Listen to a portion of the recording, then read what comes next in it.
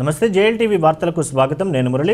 విశాఖ జిల్లా నర్సీపట్నంలో మహారుద్ర యాగం శాస్త్రోక్తంగా జరిగింది. వైదిక బ్రాహ్మణ పురోహిత మరియు అర్చక సంక్షేమ సంఘం ఆధ్వర్యంలో జాలుమూరి బంగారరాజు గ్రౌండ్లో ఈ ఆధ్యాత్మిక కార్యక్రమం జరిగింది. ఋత్వీకుల వేద మంత్రోచ్చారణల నడుమ నూట ఎనిమిది మంది దంపతులచే విఘ్నేశ్వర పూజ గోపూజ మహన్యాసం వంటి పూజా కార్యక్రమాలు నిర్వహించి నూట ఎనిమిది కలశాలు స్వీకరించారు. నూట ఎనిమిది ద్రవ్యాలతో ఐదు అడుగుల శివలింగానికి రుద్రాభిషేకం గావించారు. లక్ష్య బిల్వార్చన రుద్రహోమం వంటి ఆధ్యాత్మిక కార్యక్రమాలు అత్యంత శాస్త్రోక్తంగా నిర్వహించారు.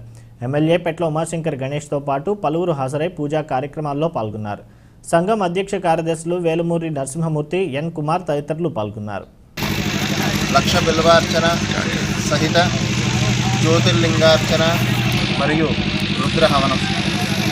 ఈ యొక్క కార్యక్రమం యొక్క విశేషం ఏమిటంటే ఇన్ని రోజులు కూడా అంటే ఇత పూర్వం మున్సిపాలిటీలో వైదిక బ్రాహ్మణ పురోహిత అర్చక సంక్షేమం అనేటటువంటి సంఘాన్ని ఏర్పాటు చేసినటువంటి పిదప మొట్టమొదటిసారి సూర్య నమస్కారాలతో కూడినటువంటి సూర్యయాగం చేయడం జరిగింది.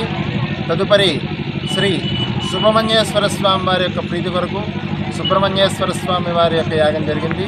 ఇప్పుడు శివుడు మనందరికీ కూడా శుభకారకుడు. అంటే సకల శుభాలు ఇచ్చేటటువంటి శివారాధన కార్యక్రమం చేయాలని చెప్పి సంకల్పించి ఈ సమయంలో అత్యంత పర్వదినం కారణం ఏమిటి అంటే మాఘమాసములో సోమవారం పూట వచ్చినటువంటి ఆరుద్ర నక్షత్రాన్ని పురస్కరించుకుని ఈ యొక్క కార్యక్రమాన్ని రుద్రయాగ కార్యక్రమాన్ని తలపెట్టాం. ఈ కార్యక్రమంలో ప్రథమంగా ఇప్పుడు విఘ్నేశ్వర పూజ అనంతరం రక్షాసూత్రధారణ కార్యక్రమం జరిగింది.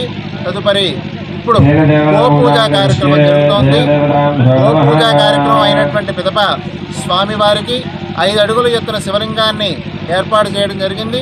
దానిపైన స్వామివారికి పంచామృతములు ఇత్యాది సుగంధ ద్రవ్యములు తదుపరి పళ్ళ రసాలు కొబ్బరి నీళ్ళు మొదలైనటువంటి వాటన్నిటితో కలిపి స్వామివారికి అభిషేక కార్యక్రమం జరుగుతుంది. అందరికీ కూడా అన్నదాన కార్యక్రమం జరుగుతుంది. అన్నదాన కార్యక్రమం అయినటువంటి పిదప మధ్యాహ్నం మూడు గంటల నుండి రుద్రహోమ కార్యక్రమం. తదుపరి శ్రీ స్వామివారికి జ్యోతిర్లింగార్చన అంటే సుమారు పదిహేను వందల దీపాలతో స్వామివారి యొక్క అలంకరణ కార్యక్రమం జరుగుతుంది.